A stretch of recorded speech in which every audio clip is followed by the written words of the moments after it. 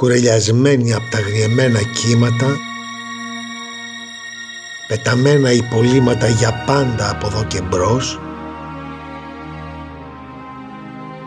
στο σκοτεινό θάλαμο της γης με ισκιωμένο το μυαλό από το ξέφρενο κυνηγητό της ασάλευτης πορείας των άστρων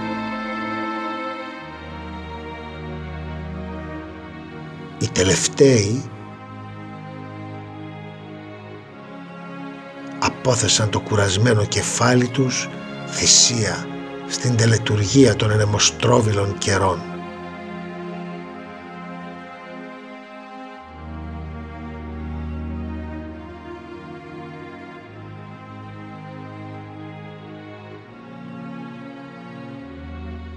Και άνθρωποι δεν υπήρχανε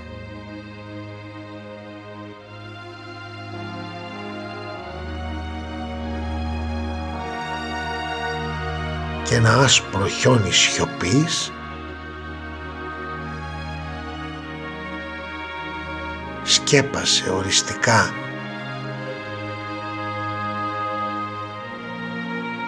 τις βυθισμένες πόλεις.